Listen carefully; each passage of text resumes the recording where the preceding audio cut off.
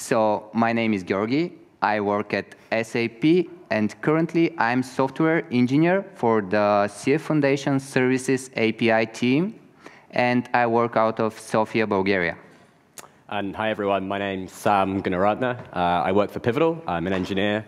I work in London, and I work on the same team as Georgi. And so our team's focus is really like the services experience in Cloud Foundry. And more specifically, we look after the Open Service Broker API implementation in CF. So as authors of a platform, like we spend a lot of time thinking about brokers and broker authors and the specification. But we spend a lot of time thinking about it in a very like abstract way. So this talk is really us sort of taking a step back and trying to think about it more practically, um, and really trying to understand, does the spec sort of live up to the reality of what it claims? So what we'll do is we'll do a little level setter and talk a little bit about the API um, and explain it. We'll then have a look at the ecosystem to see sort of what's evolved over the last two years of this thing being um, an open project. Um, then we'll dive into really the title of the talk, which is our demonstration. And then we'll end with some questions and some learnings at the end. Great, so um, we'll try and get through this bit a little bit quick. Uh, so what is the Open Service Broker API? So this is a specification that started in Cloud Foundry a number of years ago. Uh, put simply, it's a way for uh, your applications running in Cloud Foundry to have access to backing services. And the classic example is I have an application. I want my application to be stateless. I need to store some database. Give me a backing data store. And so two years ago, the Kubernetes community were thinking about similar abstractions. And so instead of going off and forking and making their own specification, they decided to work with Cloud Foundry on the Open Service Broker API, which is a, uh, run by a committee of these companies. And the goals are exactly the same um, as the original specification, except on the Kubernetes platform as well as Cloud Foundry. So it's all about managing service life cycles. Okay, what does actually mean? I mean, we will need a little bit more details in order to understand the specification a little bit better. So as part of the specification, we have two main actors in it. The first one is called the platform. A typical example of a platform is Cloud Foundry or Kubernetes. This is the place where our workload lives. The second actor, as part of the specification, is called a broker. This is the component responsible for creating service instances of a specific type. An example of a broker is the MySQL broker, which is capable of provisioning small, medium, or large plans.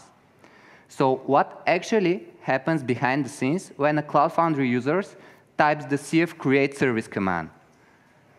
Then the platform behind the scenes makes a provision request. This is another term of the specification to the broker. And as a result of that provision request, a service instance is created.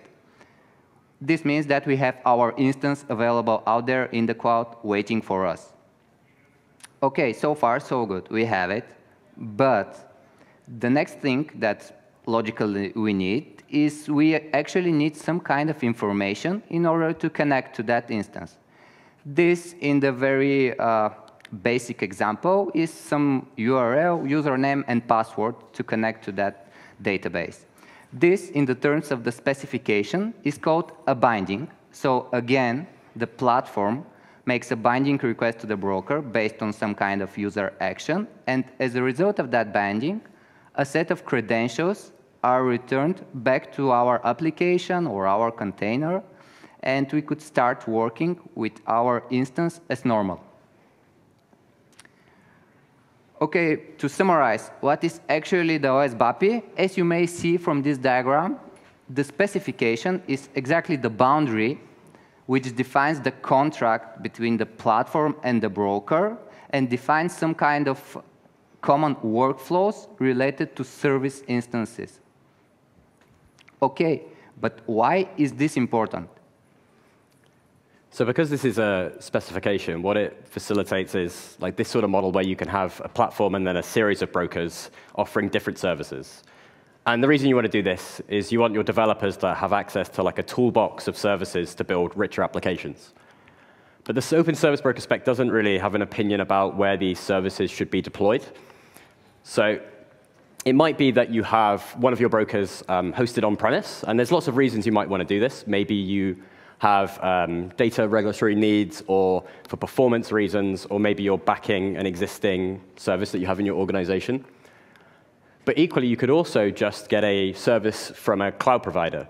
So in the case where you want to use um, know, some like, data service and you don't actually care where it's hosted, you just want, you want access to that service, like why not get it from an expert who, like an expert provider who has a lot of experience running these sort of services. So and this is sort of like the heart of our, our talk. And so sort of sparked the question, like, how many services are available from these sort of cloud providers?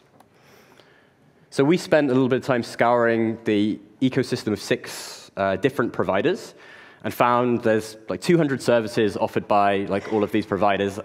And it's a mixture of both SaaS offerings, so you just get a URL and you register it in your platform, and like artifacts that you download and then deploy on premise. And because everybody likes logos, um, here's a lot of logos of all the services that are available that we found. Um, and what was great during this like, exploration wasn't just the variety of services, it was the fact that if, for example, you want a Postgres service, there's actually a bunch of different providers that offer that service. So what that means for you as a consumer, as a platform operator, is that you can pick and choose which provider you get your Postgres from. You could pick based on price or SLO or performance. And if you're not happy, you can switch. So I guess most of you have started wondering where are we going with this talk because all the things so far were kind of familiar. We saw them on previous uh, summits, on previous talks. We didn't tell almost anything new as part of this. So what we actually wanted to do, Sam and I wanted to, to put the specification to the test. So we wanted to validate how easy or how hard is for a developer to actually consume multiple services coming from different cloud providers. So what does the developers do when they want to test a thing? They create an app. So we did. We have created a very simple application with the purposes of this demonstration. The application consists of two basic nodes, a web node and a worker node.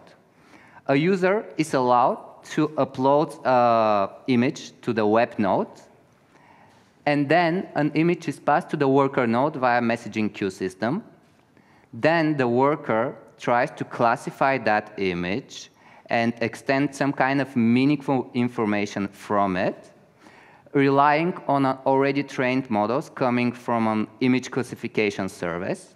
And once we have our classification, we store the end result and the input image in a relational database. I guess most of you might be familiar with such an architecture because a lot of, of, of real-world applications rely on similar services. So how actually our app look, looks like backed from different cloud providers, because we think we are kind of pragmatic and we also believe in using the right tools for the job, we decided to rely on the message queue coming from the Google PubSub as our inter-process communication system. We, we also use the IBM Watson Vision Recognition Service with, for the image classification. And last but not least, we use a relational Postgres, dat Postgres database coming from the Azure cloud. So right now, Sam is going to demonstrate you live what does it, how does it look like from CF developer perspective to, to work with such application that is backed by those cloud providers. Okay. Can everybody see?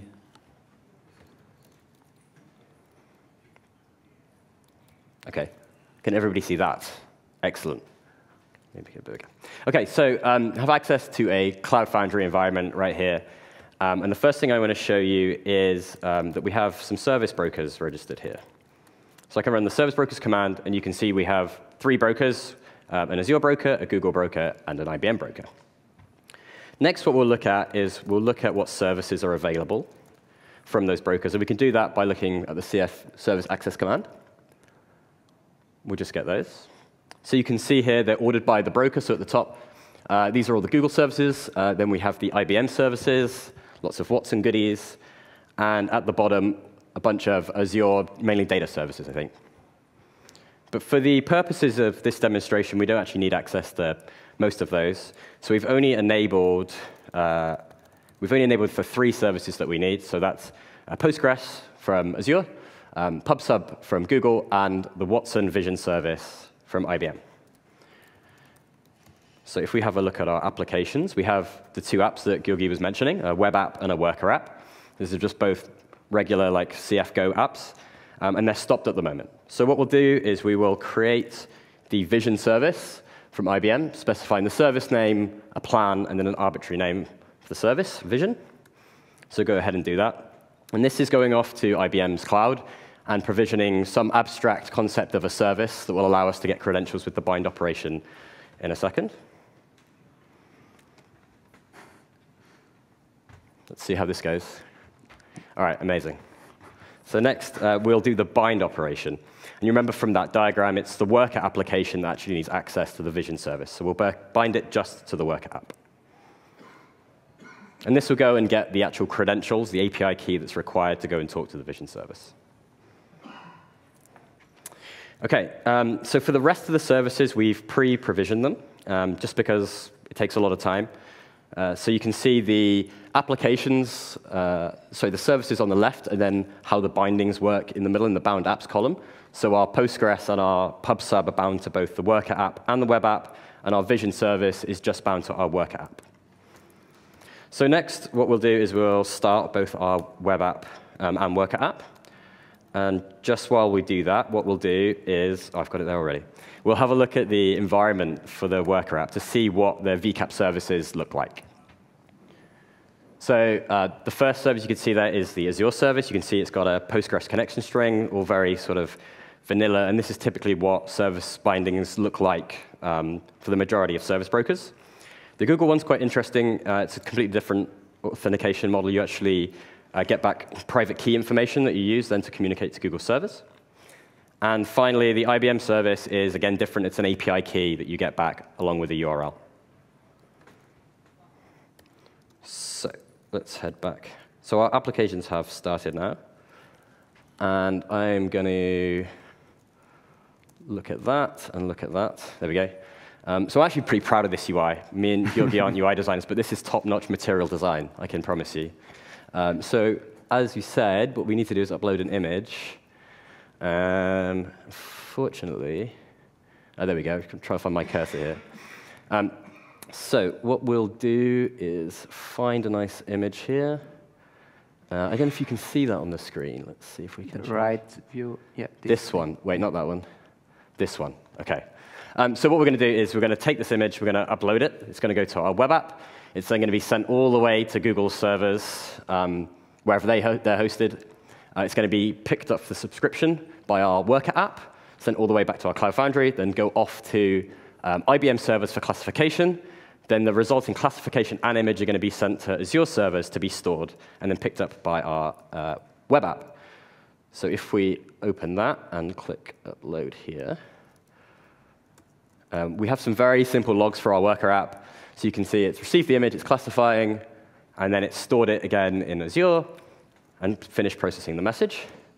And if we refresh, I can confirm with the power of three clouds that this is a lion, everybody. yes. Thank you very much. And you've already seen it, but this is pretty great. We've also got uh, not a lion, um, and we'll see what Watson service thinks of this. So if we upload it, it's the same process. And it's actually pretty good. It's determined that that on the right is, is a dog and that on the left is a lion. So I was actually very impressed by this. It's actually awesome.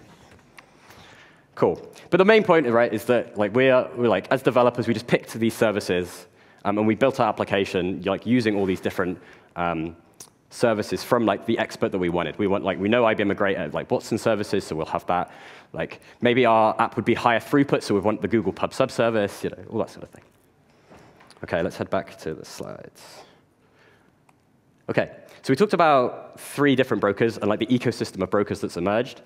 But as we know, like the Open Service Broker API has brokers and platforms. So what about an ecosystem of platforms? Um, and so this is what we sort of wanted to, to do um, where we had Kubernetes doing exactly the same thing, talking to the same set of services. And that's what Georgi's going to show you now. Okay, thanks, Sam. Thanks for the nice demonstration. Okay, so right now I'm going to show you the exact or almost the same workflow, but uh, from a Kubernetes developer perspective, or how we actually could push that exactly the same code base with exactly the same application, but to Kubernetes. Uh, I have pre-configured a demo magic script, so just to save you my poor typing skills. Uh, so don't be impressed with my fast typing skills. It's a script, uh, but the demo is live, so it's not a recording. So if anything goes wrong, you notice it immediately. So the first thing that we did, similar to the CF, we have configured the Kubernetes cluster and installed the service catalog in it, and also registered three, the, the same three bro brokers, the Azure, the Google, and the IBM broker. And this is currently part of my of my context. So I have a cluster, which is called Sam and, and Georgi, and it's installed with all those uh, things that we need. OK, the next thing that I'm going to show you, this is the equivalent of CF marketplace command, but in Kubernetes term.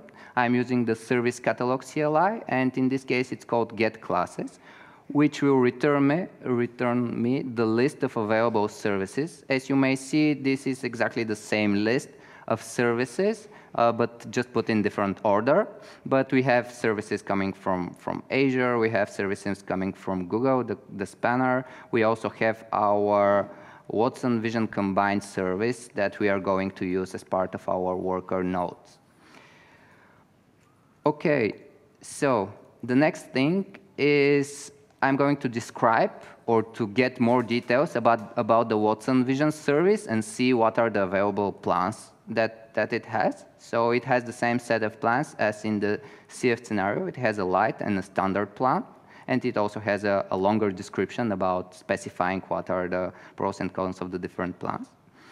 So the next thing that I'm going to do is trying to provision a service instance, or this is the equivalent of CF create service command that I guess most of you are already familiar with. So again, we the, the, the command is different. It's called provision, but the semantics and the thing behind the scenes is actually the same. So we just specify a name, an identifier for our service instance, and we specify what is the class or the service and the plan that, that the service instance should be derived from.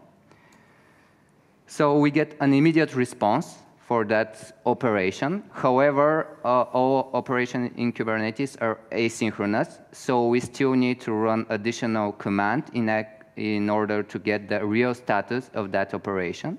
So this command, in the terms of service catalog CLI, is called describe. So I'm describing an instance and give the identifier the name of my instance. So as you may see from the status field, the service is ready. It's available out there in the cloud somewhere in, in the uh, IBM data centers. So uh, we have it ready, ready, good to go.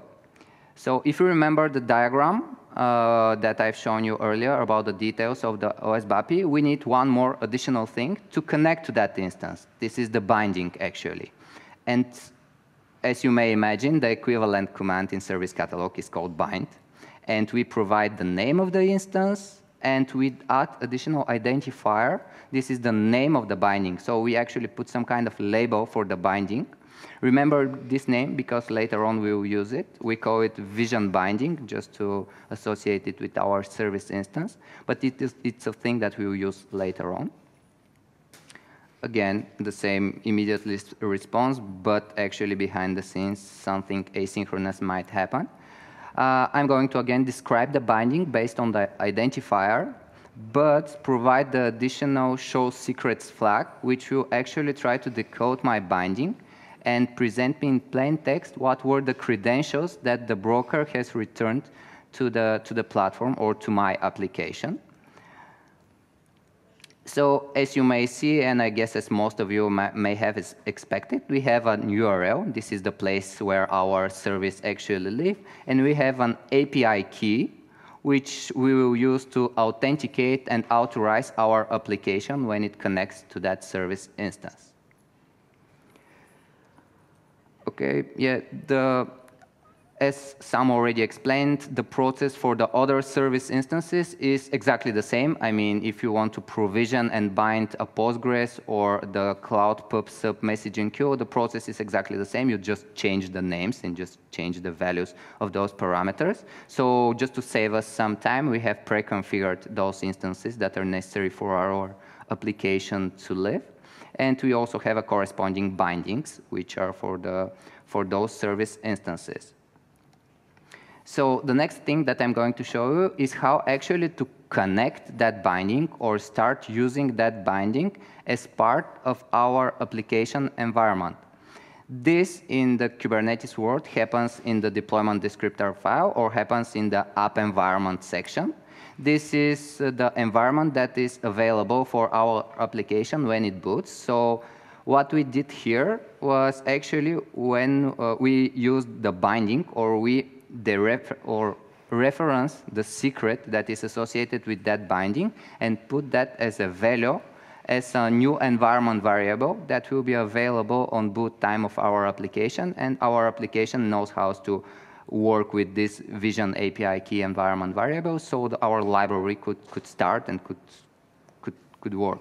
The same thing happens for the URL here okay, let's, let's test this thing. Let's see whether the application actually will be able to start and work with, with the service instances and with those bindings. This in the terms, because I, we have created a separate deployment for both components. This in the terms of Kubernetes, we create those deployments using the kubectl out of that deployment descriptor, the YAML file that I've shown you. So yeah, again, asynchronous operation, so we could not be 100% sure that the thing is uh, running. So we need to run one more command and describe our and get our deployments.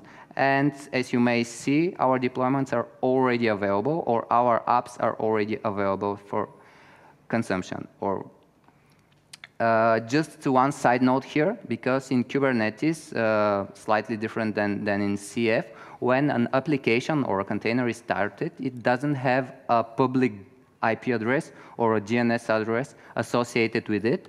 So we here need one additional resource in the terms of Kubernetes called a load balancer service, which will actually map a public IP address, which we could access from a browser, to our application running as part of the, of the cluster and as part of the pod.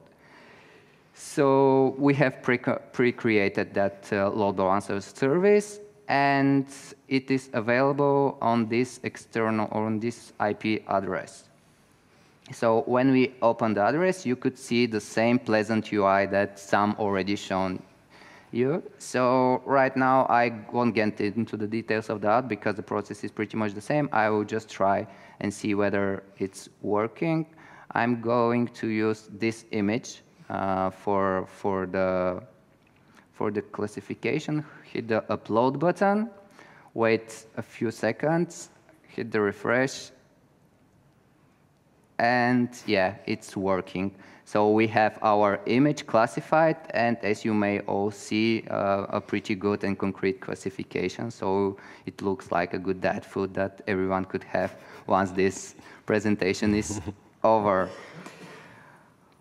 Okay, this was the, the demonstration that we wanted to show you, how it looks like actually from Kubernetes developer perspective and how we actually could use uh, uh, the same code base and push it to a different platform. The last bit that we wanted to share with all of you and that we thought that is going to be interesting for everyone were the learnings that we made during preparing for this talk and during create, creating this demo. There were quite a lot of things, if I have to be honest. Uh, the first thing that we were quite surprised in a good way, uh, despite the fact that we are every day working with the specification and we know how powerful it is, we, we were very surprised about the huge variety of services available out there coming from different providers. So it's definitely a good thing. And I personally felt like a kid in a candy store when I saw how many services I could consume as a developer.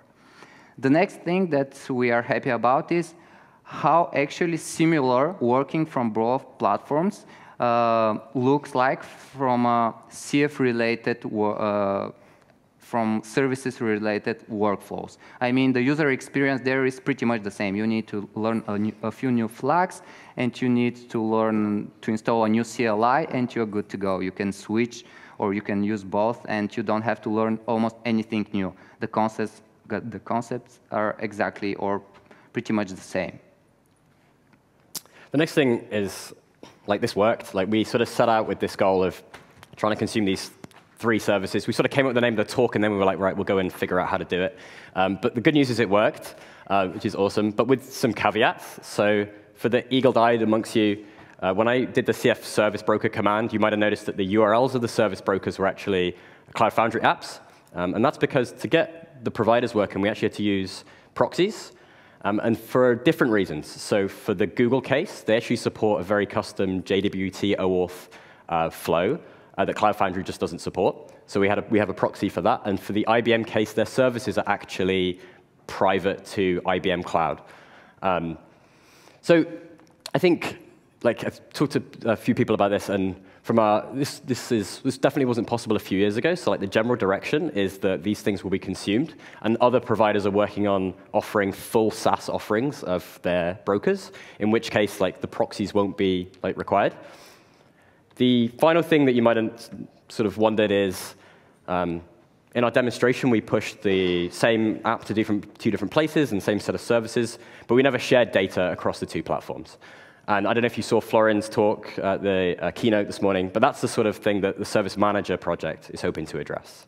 So hopefully next summit, someone will come along and do an improved version of our talk and maybe show the web app running in CF and worker apps running in Kubernetes and communicating through services. Awesome. Well, thank you very much. That was our uh, demonstration showing you know, different cloud providers' uh, services all being consumed in one app and two different platforms. Does anybody have any questions?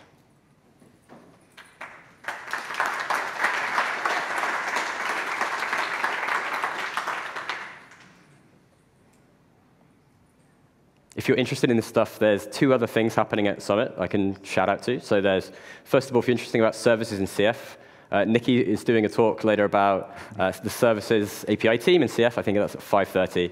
And then if you're interested in like Kubernetes and CF experience for services, Luis and Alex are doing a lab. I think there's one session tomorrow where you can go and play around with that live. If there are no questions, thank you very much. Thank you.